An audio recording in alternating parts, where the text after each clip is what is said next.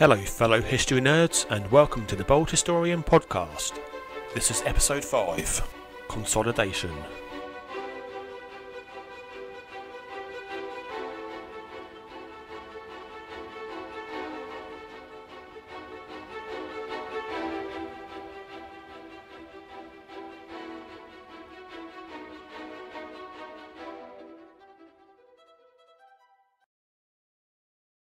So, we begin our episode with Hereward the Wake. So, the E Chronicle of the Anglo Saxon Chronicle states Hereward and his gang were planning to plunder Peterborough Monastery. And as a side note, it's important to remember that the E Chronicle was actually written at Peterborough Monastery. The likely reason Hereward and his men decided to attack Peterborough Monastery was because it had recently been passed to a Norman abbot from an Anglo Saxon abbot and Hereward planned to attack the abbey before the new abbot arrived and took up office. Their motivation may have stemmed from the fact that the king plundered English churches and monasteries earlier that year, and the valuables that were kept at Peterborough were carried off by Hereward to the Danish camp at Ely as a way to protect them. And these treasures included vestments, crosses, money, books, shrines, and altar fronts.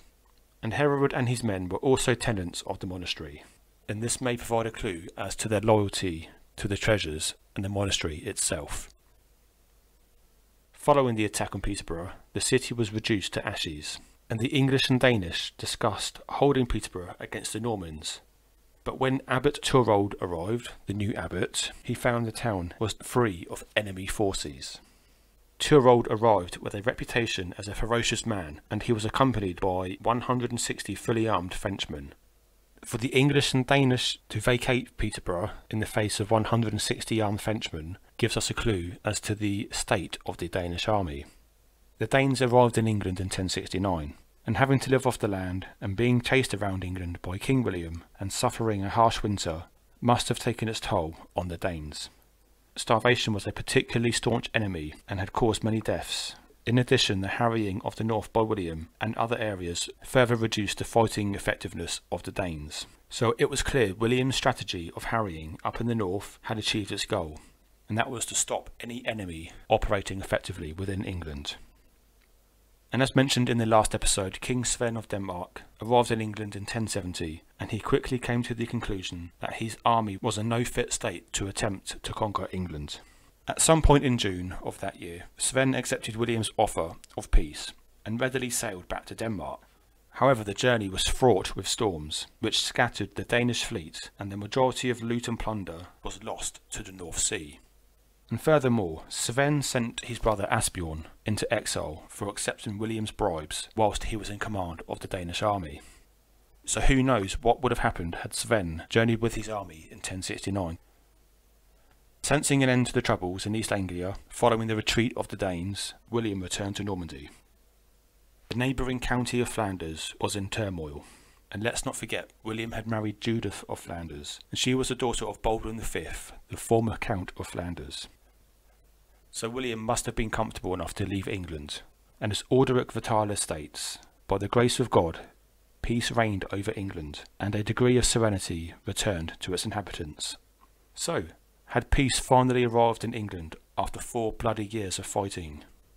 As it turns out, the answer is no. A new rebellion, centred around Hereward, had reared its head. Hereward was based at Ely, and this was an island surrounded by marshland, and it was a most difficult place to attack. And men from all around the kingdom flocked to Ely and Hereward.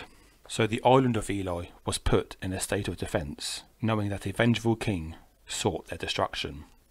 One significant man who made the journey to Ely was the Bishop of Durham, Athelstwine.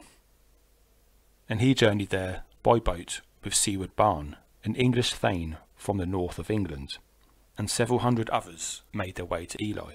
Little was known of Siward's origins, but we do know he enters the historical record around the time of the Danish invasion in 1069, and along with Edgar Atheling, the English Earl Waltheof, and other English leaders, joined the rebellion in conjunction with the Danish invasion and at this point Earls Morcar and Edwine, respectively the Earls of Northumbria and Mercia, were still present at William's court, where they had been in situ since 1068. Even though they still held their titles, they exercised very little power, if any at all. So in 1071 they made their escape from William's court. The brothers attempted to raise a rebellion, but it was an abject failure. Their absence during the rebellions and subsequent harrying in the north, although not their fault, was a reminder that they could not draw people to their cause any longer. They had lost their power and influence. This is significant as it reminds us that the Anglo-Saxons no longer held any real authority within England. The Normans were willing to fight for England, however, the uprising at Ely had to be dealt with. As fugitives, the brothers went their separate ways. Edwin headed north, attempting to reach Scotland, whereas Morcar headed to Ely, ready to continue his fight against William and the Normans. In 1071, William returned to England to counter this new threat. He employed a two-pronged strategy. He used naval forces to blockade the island on its eastern side and deployed an army on its western side. The island of Ely was now under siege, and we have two wildly different accounts of the siege. The Gesta Herewardi casts Hereward and his followers in a positive, heroic light.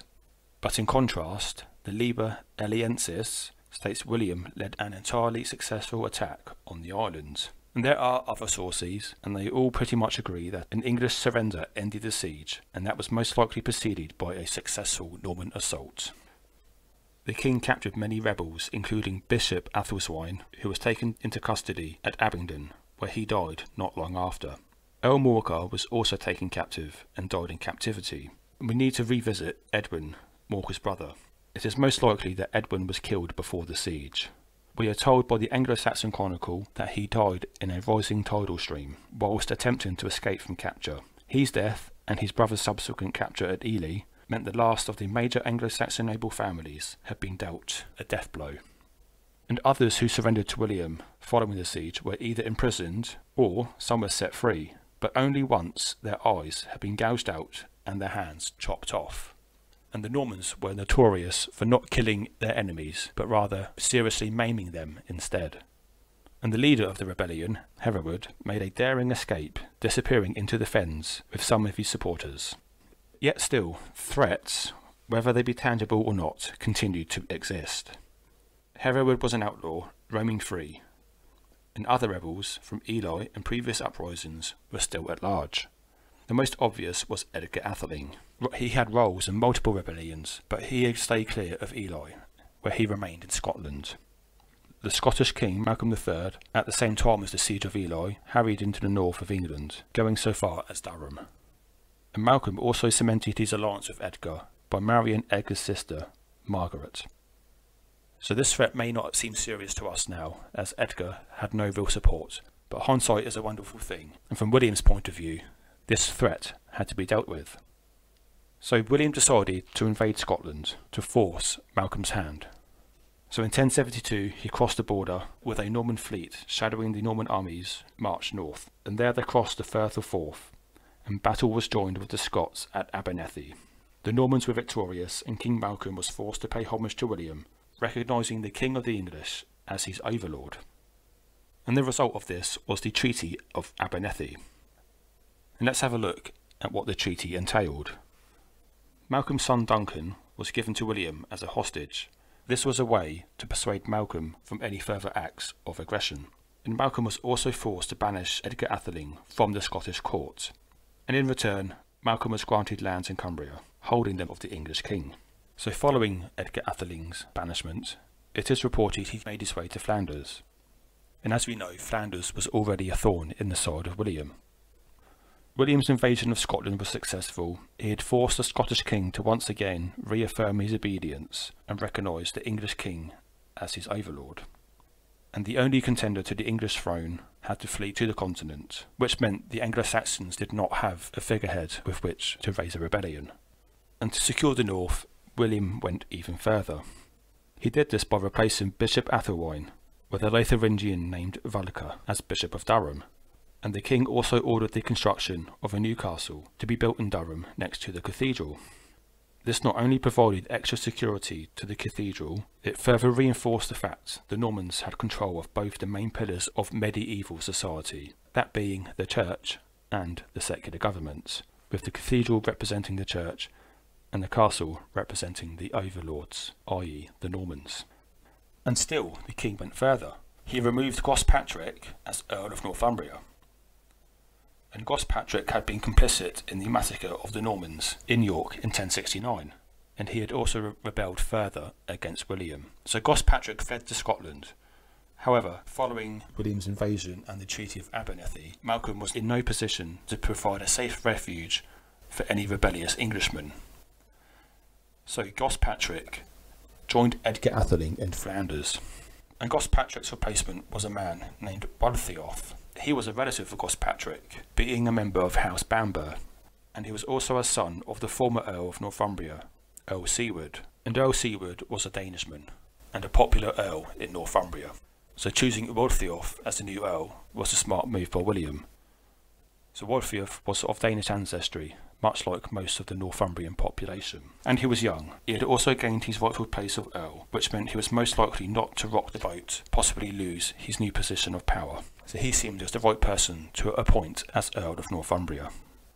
And years earlier, in 1065, Waltheof was appointed as Earl of Northamptonshire and Huntingdonshire by Edward the Confessor. So Waltheof knew what it took to rule an earldom. But we also must know that in 1069, Waltheof did involve himself in the rebellion against William. However, William decided to forgive him, and William went so far as to marry Waltheof to his niece, Judith of Lens. And the bond between William and Waltheof grew ever stronger. So the north had been somewhat pacified, and William felt confident enough to return to Normandy. There was a succession crisis in Flanders, which was the home of William's wife, Judith. So Count Baldwin VI had succeeded Count Baldwin V as the Count of Flanders, and when Baldwin VI died, a conflict erupted between his brother Robert and Baldwin's teenage son Arnulf, and this culminated in the Battle of Cassel. Arnulf was killed during the battle, as was King William's close friend, William Fitz-Osbern. So it turned out the conqueror had backed the wrong person, and now that Robert was Count of Flanders, Normandy had a hostile neighbour on its eastern border. And to make matters worse, William had lost his long-term friend, William Fitz-Osbern. As well as Flanders, William had to contend with a revitalised Anjou under Count Fulk, and also with the new King of France, Philip I, who had recently become king in his own right following his minority. So Count Fulk proceeded to occupy Maine whilst William was in England. In response to this, William led a large English army across the Channel and he reconquered Maine. And in addition to this, King Philip of France married Bertha, who was the sister of Count Robert of Flanders, so it seemed William was surrounded by enemies. However, William was at this point the most fearsome warrior in Europe. He had the military experience his rivals did not possess, and he could also draw upon the resources of the Kingdom of England. So now William spent more time on the continent, and had to entrust the governance of England to others, and his choice his close friend and spiritual adviser, Lanfranc. Lanfranc was appointed as Archbishop of Canterbury by William in August 1070, a role Lanfranc was not enthusiastic about accepting. He had previously been Abbot of Caen in Normandy, and this was another post he did not want. But Pope Alexander, at the urging of William, commanded Lanfranc to accept the post of Archbishop of Canterbury. So the chief concern of Lanfranc, whilst he was governing England on behalf of William, was the Church. In Anglo-Saxon England, ecclesiastical crimes had been heard in secular courts. But now the Normans were in charge, this was about to change. It was declared by William in 1070 that ecclesiastical laws were not properly administered in England according to the precepts of the Holy Canons. And William further declared that spiritual crimes would now be heard in ecclesiastical courts under Christian law rather than English law and this meant more administrative work for the church in England, and that meant the appointment of more archdeacons and deputy bishops, and this drastically increased their number in England to unheard of numbers. Another change in the church in England was clerical celibacy. Before the Norman conquest, priests were allowed to have wives and children. But following Lanfranc's accession as Archbishop of Canterbury, he decreed that any priests who were married could keep their wives but from 1072 onwards, priests were forbidden to be married and must remain celibate. And yet there were more changes. In 1067, Canterbury Cathedral was gutted by fire, and once Lanfranc was appointed as Archbishop of Canterbury, he ordered it to be rebuilt in the latest Romanesque style. Apart from Westminster Abbey, there was no comparable building in England at the time. So from 1070 onwards, more and more Norman churchmen commissioned grandiose churches and cathedrals. It was clear the Normans had now stamped their authority on the church in England, not just administratively, but ascetically too.